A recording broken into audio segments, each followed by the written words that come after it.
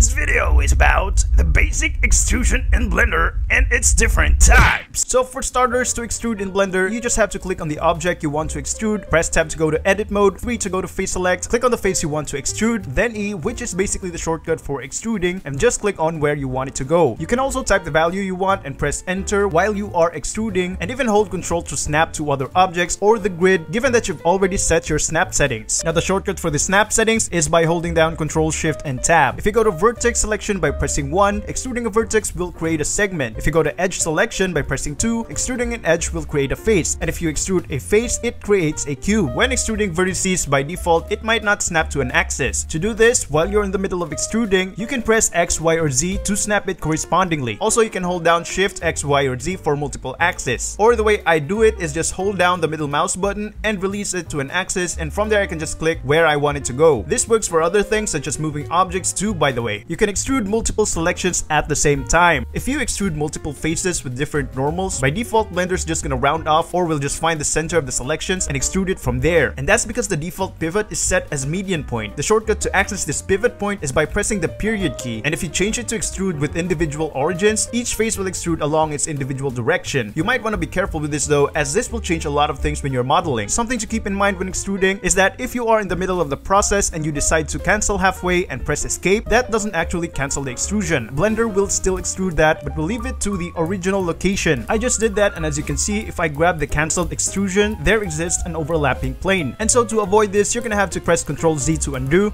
or hit X to dissolve edges, or hit Alt Z, box select the vertices, and press M to merge. On the other hand, you can also make use of this effect and make it work like the inset tool by pressing S. The thing with this though is that you will not be able to access the settings for the inset tool. Another thing you can do with this effect is by applying it to a loop of vertices, faces, and edges and again scaling them. In vertex mode for example, select a loop by holding Alt and clicking on one of the vertices that you want to work with. Now extrude that and hit escape and by the way make sure you don't click on anything else as Blender will select the extrusion automatically and in case you have you can just hit undo and you'll be back to the selection. Now hit S to scale and then left click or type a value to end the process. And like most Blender tools, right after extruding, a pop-up setting is going to show up in the lower left corner and in there you can flip normals. Normals are basically the direction of the face. You can also dissolve orthogonal edges which deletes excess planes that show up when you extrude inward by the edges of a geometry. You can also move the extrusion here and even adjust its orientation. This pop-up goes away as soon as you click on the viewport but you can access this by pressing F9 given that you haven't modified anything else yet. You can also access the extrude tool on the left panel and if the left panel isn't there the shortcut is T and the only difference when you use the tool in this panel is that you have to work with the gizmo with this one and if you press the extrude region icon long enough a bunch of other options for extruding will pop up. You can also access these options by selecting a face and holding down Alt E. Now be sure to select a face first or not all the options will show up and when it does you'll actually find that there are more options there than the left panel and by now you might have noticed that this video is a bit compact and on point and that's because I literally spent days polishing this and a simple like would mean a lot to me. Now let's talk about these options. Extruding faces along normals extrudes according to the direction of each face. Quick tip, you can choose to display the normals by going to edit mode and on the upper right corner click on the arrow for the viewport overlays panel and in the bottom part there you will find the option to turn the normal display on and off. Now back to the extrusion. If you extrude faces that meet in a single edge, you might notice that the edge part is a bit crooked. That's because it's kind of considering the normals of the edges and the vertices alongside it. But you can adjust this by checking offset even in the pop-up settings. Extrude individual faces works a bit like extrude normals, but it extrudes separately for each selection. A cool effect that you can make with this type is by setting the pivot point to individual origins, selecting a set of faces with the same normals, and using the extrude individual option and scale down those faces. The extrude manifold option works almost like checking the dissolving orthogonal edges in the basic extrusion, but get this, the standard extrusion kind of leaves another n-gon by the recessed faces, while the extrude manifold option eliminates that, thus kind of makes it a bit more cleaner. Extrude repeat extrudes the selection multiple times and in the pop-up settings you can adjust the steps and the direction. The spin option kind of works like the spin tool if you're familiar with that if you select a vertex, edge, or face and it works kind of like an array modifier if you select an entire object. But unlike the array modifier which can actually use objects as reference to rotate around, the spin extrusion option just like the spin tool can only rotate around the 3D cursor. Quick tip, the way I would use these types of tools is by turning on snap by holding shift tab and for this example I'm using an empty as my reference object and so I would have to have my vertex snap on. And what you want to do from here is hold shift and right click to snap the cursor to the exact point and now you have your 3D cursor position. Or you can do it the other way around. You can select the reference first, hold shift S and press 2 and now again the 3D cursor is ready and you can now use the spin tool. And in the settings you can adjust the steps, angle and orientation. Now if I missed anything too important or if you ever caught any mistakes, please feel free to write it down in the comment section. Don't forget to subscribe if you enjoy these types of videos and you might want to check out my channel for more.